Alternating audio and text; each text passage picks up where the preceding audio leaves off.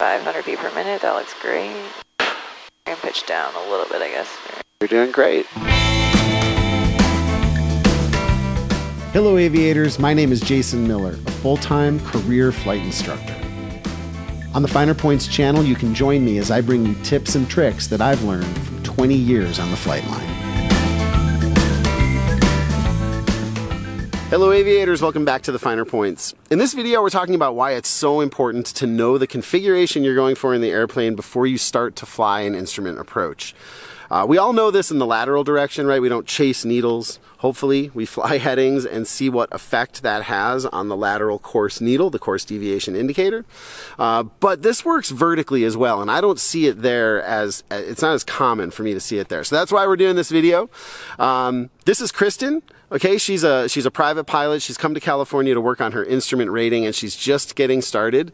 Uh, when I say just getting started, I mean we've done one week, right? And um, the way I approach instrument training is that I'll usually show folks the context, right? Like the very first thing we'll do is a point-to-point flight in the system filed, just so we can see the end result. Uh, then we go out to the gym and we start building skills. And the skills that Kristen has been working on is you know, in one week, it's really just about basic attitude instrument flying. It's about scanning the flight instruments, uh, and we do a lot of, we fly the Oscar pattern, we do a lot of, um, uh, a lot of different exercises in that first week, but it's all related to how to scan the instruments. Uh, and toward the end of the week, we started to dabble in flying courses. Okay, so that's about as far as we got. Uh, and in that week of, of scanning, one of the configurations that I show instrument pilots is the 500 foot per minute 90 knot descent.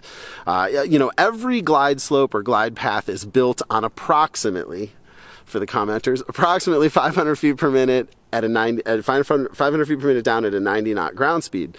Uh, so it's so common that, that it's a configuration I practice right up front and continually throughout the, the instrument training. So here's how that works in the airplane. Okay, the first thing you're going to do is just like a constant airspeed descent. You are going to power back and hold your altitude to slow down. Okay, we're going to capture that airspeed first. That's the first thing we're going to do is make sure we're flying at the correct airspeed.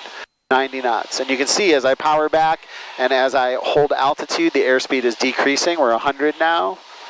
Okay, decreasing to 95.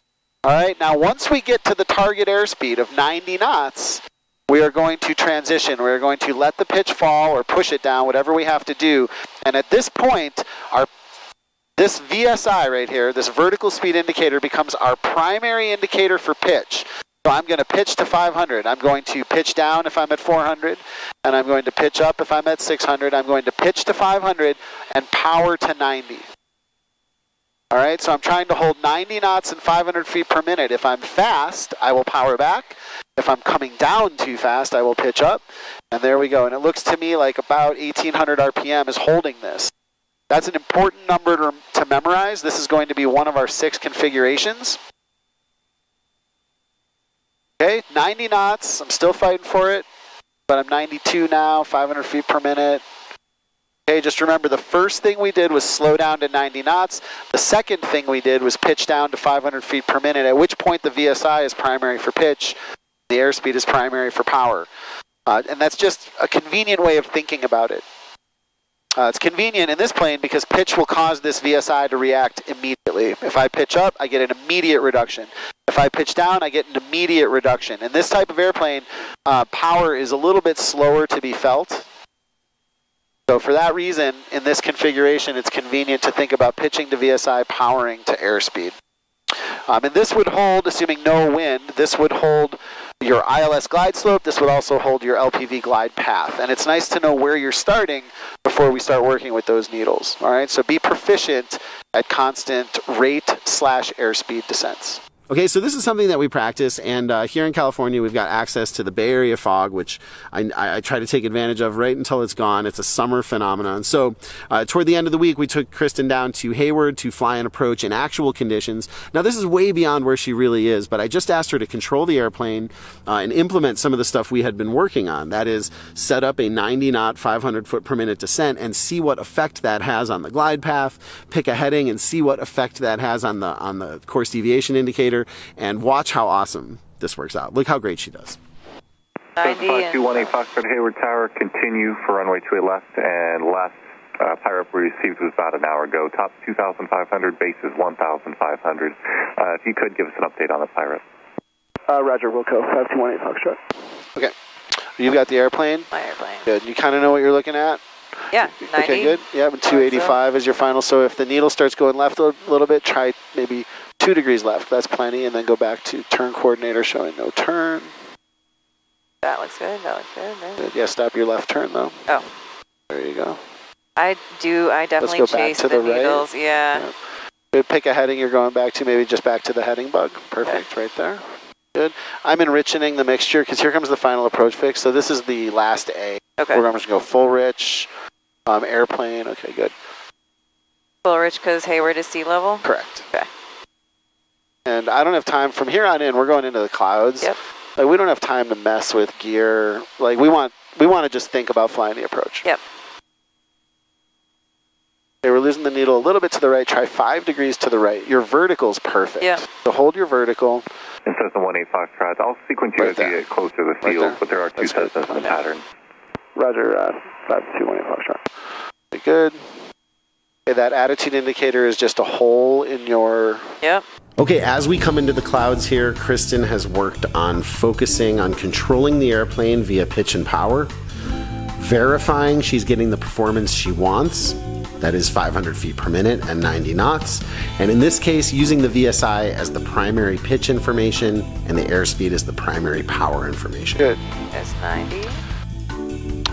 Keep your eyes moving around the room. Have to go to the right a little bit, right?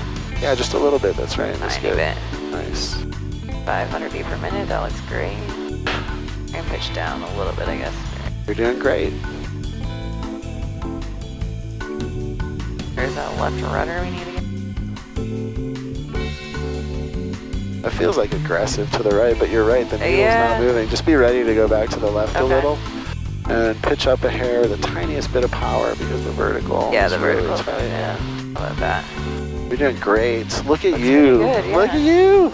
Okay, and that's directly a result of knowing what to expect. It would be really easy to just start pitching for that glide path needle, not having any idea what configuration you're looking for, and it's really easy to chase that vertical needle the same way it's really easy to chase a lateral needle. So next time you're out flying an instrument approach, uh, think about that, and you should, before you do that, practice slowing the airplane down to your targeted speed, letting the pitch fall, and working on rate slash airspeed uh, descents, constant rate slash constant airspeed descents.